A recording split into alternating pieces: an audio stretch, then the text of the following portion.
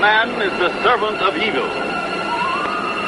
Instruments of torture are always much the same wherever one goes.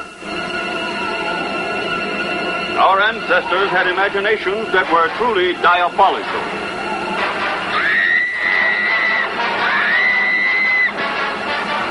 The Virgin of Nuremberg, the most efficacious instrument of torture.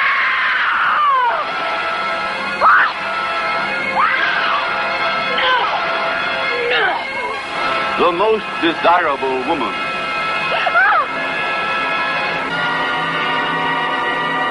Ah! Terrible punisher of the Virgin of Nuremberg.